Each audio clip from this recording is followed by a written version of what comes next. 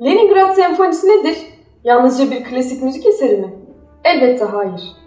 Bir kente direnme gücü veren bir silahtır aynı zamanda. Şimdi tarihleri biraz geriye saralım ve 9 Ağustos 1942 akşamına gidelim. İkinci Dünya Savaşı'nın en ağır kuşatmalarından birine direnen Leningrad'dayız. Yani Nazilerin Sovyetler Birliği'ni işgal etme planındaki 3 stratejik hedeften birindeyiz. Kentin son kara bağlantısının kesilmesinin üzerinden neredeyse bir sene geçmiş. Nazilerin kentin akarsu kaynaklarına zehir karıştıracak, yiyecek depolarını bombalayacak kadar gözü dönmüş. Leningrad halkı ise kelimenin tam anlamıyla açlıktan kırılıyor. Naziler kente ulaşan ikmal hatlarını kesseler de Sovyet halkının ve Kızıl Ordu askerlerinin direnci nedeniyle taarruzlarından sonuç alamıyorlar.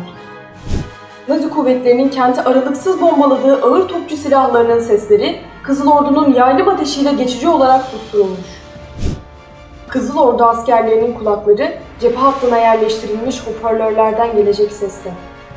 Az sonra yoldaşları Dimitri Shostakovich'in 7. senfonisinin Leningrad premieri başlayacak. Shostakovich, sağlık sorunları nedeniyle Kızıl Ordu'ya kabul edilmeyince itfaiyede yangın gözcülüğü yaptığı esnada yazmaya karar verdiği 7. senfoni birazdan yoldaşlarına ve yurttaşlarına müthiş bir meydan okuma gücü verecek. Tarihler 9 Ağustos 1942. Yani Hitler'in Leningrad'ı alacağını ilan ettiği tarih. Ve konser başlamak üzere. Orkestra şefi Karl Elias Berk'in önceden kaydedilmiş anonsu duyuluyor ilkin.